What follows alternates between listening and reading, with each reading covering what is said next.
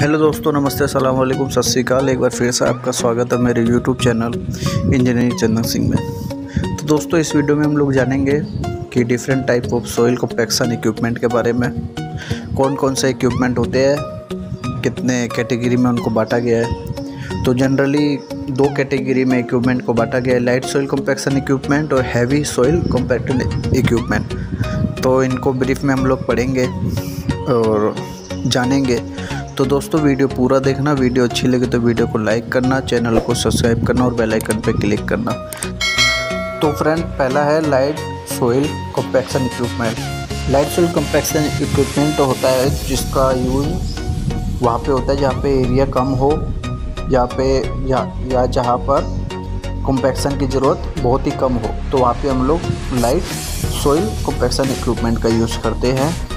तो friend light soil compaction equipment में पहला है रैमर यह पिक्चर देख सकते हैं, ये रैमर है। Rammer are use for compacting small area by providing impact load to the soil rammer का यूज़ हम वहाँ पे करते हैं, जहाँ पे एरिया स्मॉल होता है।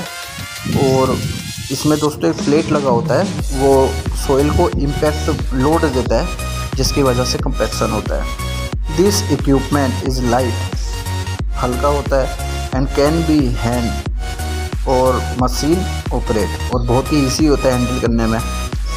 The base size of rammer can be 15 into fifteen centimetre और 20 इंटू ट्वेंटी सेंटीमीटर और मोर जो इसका बेस का जो साइज़ होता है, वो 15 बाई 15 का सेंटीमीटर का होता है या 20 बाई 20 का होता है या इससे ज़्यादा भी मिल जाता है अकॉर्डिंग टू रिक्वायरमेंट दोस्तों सेकेंड इक्विपमेंट है vibrating plate compactor Vibrating plate compactor are used for compaction of coarse soil with 4 to 8 percent fine जो वाइब्रेटिंग प्लेट कॉम्पैक्टर होता है, इसका यूज़ हम करते हैं कोर सोइल में, जो चार से आठ परसेंट फाइन होता है। This equipment are use for small area small area में इसका इक्विपमेंट का यूज़ करते हैं। The usually weight of this machine vary from 100 kg to 2 ton with plate area between 0.6 meter square and 1.6 meter square.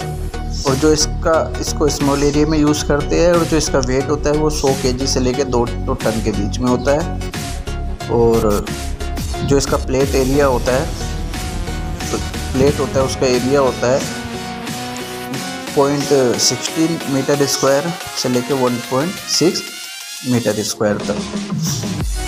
Third है vibro tampered vibro tampers use for compaction of small area in confined space small area में इसका use करते हैं। This machine is suitable for compaction of all type of soil her type के soil में इसका use होता है। By vibration setup in display और through a spring activated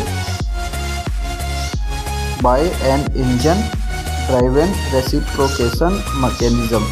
इसमें एक स्प्रिंग होता है, जो बेस प्लेट पे फोर्स देता है और वो बेस प्लेट कॉम्पैक्शन करता है। तो कोई रेसिप्रोकेशन मैकेनिज्म इसमें यूज़ होता है they are usually manually guided ये मैनुअली गाइडेड मशीन होता है, इसका वेट जो होता है 50 टू 100 के के बीच में होता है 100 टू 220 पाउंड इसका वेट होता है।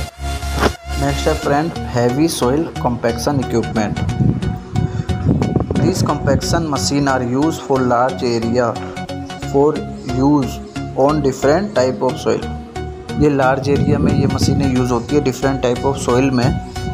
The heavy compaction equipment are selected based on moisture content of soil moisture content कैसा है, किस टाइप का सोइल है, उस हिसाब से मशीन का यूज़ होगा। Following a different type of this equipment जो अभी मशीनें आने वाली है, ये हैवी सोइल कम्प्लेक्शन मशीन के डिफरेंट टाइप है। हैवी इक्विपमेंट में फ़र्स्ट है smooth wheel roller smooth wheel roller दो टाइप का होता है रोलर फ़र्स्ट होता है static smooth wheel roller next होता है वाइब्रेटिंग स्मूथ व्हील रोलर जैसा कि आप दो पिक्चर में देख सकते हैं, जो पहला है, वो स्टैटिक स्मूथ व्हील रोलर है। और सेकंड है वाइब्रेटिंग स्पीड व्हील रोलर जो स्टैटिक स्मूथ व्हील रोलर जो होता है, इसका यूज़ हम लोग फिनिशिंग में करते हैं। कॉम्पैक्शन का फिनिशिंग में इसका यूज़ करते हैं। और अगर यूनिफॉर्म सैंड है तो वहाँ पे इसका यूज़ नहीं करेंगे। और जहाँ पे रोग क्रसिंग या मतलब रोग अगर जहाँ पे पीसने की ज़रूरत है वहाँ पे इसका यूज़ करेंगे। नेक्स्ट है वाइब्रेटिंग स्मूथ व्हील रोलर इसका यूज़ वहाँ पे करते हैं, जहाँ पर हमको ज़्यादा डेप्थ तक वाइब्रेटिंग करना है कॉम्पैक्शन करना है, वहाँ पे इसका यूज़ करेंगे।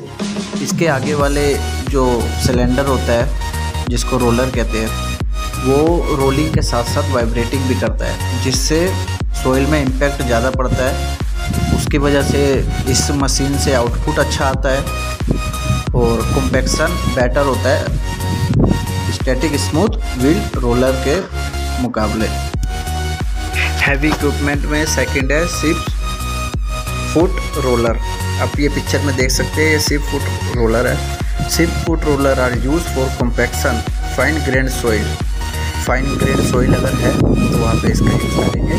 सच अ हैवी क्ले और सिल्टी क्ले जो क्ले टाइप का जो सोइल होता है हैवी क्ले या सिल्टी क्ले वहाँ पे इसका यूज़ करेंगे।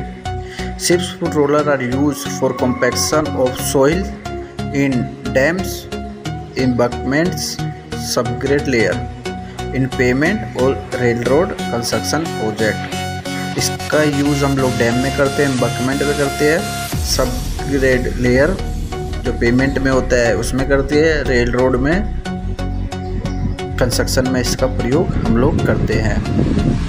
सिर्फ़ सिर्फ़ foot roller are of static and vibratory type ये स्टैटिक टाइप का भी होता है वाइब्रेटरी टाइप का भी होता है। Vibratory type roller are use for compaction of all fine grain soil जो वाइब्रेटरी टाइप जो इसका होता है, वो सारे, वो ऑल फाइन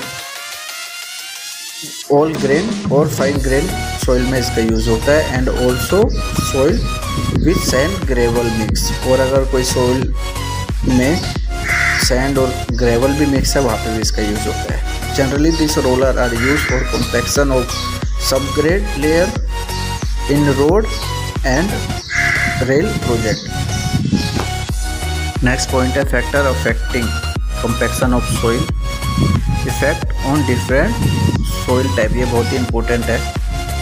और following the different factor affecting compaction of soil जो कॉम्पेक्शन ऑफ़ सोइल जो होता है, उसमें कुछ फैक्टर होते हैं जो उसको अफेक्ट करते हैं, जिसकी वजह से प्रॉब्लम आता है कॉम्पेक्शन करने में। तो पहला है वाटर कंटेंट सेकेंड है अमाउंट ऑफ़ कॉम्पेक्शन थर्ड है टाइप ऑफ़ सोइल फोर्थ है मेथड ऑफ़ सोइल कॉम्पेक्शन ये चार जनरली इफ़ेक्ट जो होते हैं, जो प्रॉब्लम क्रिएट करते हैं कॉम्पेक्शन करने में।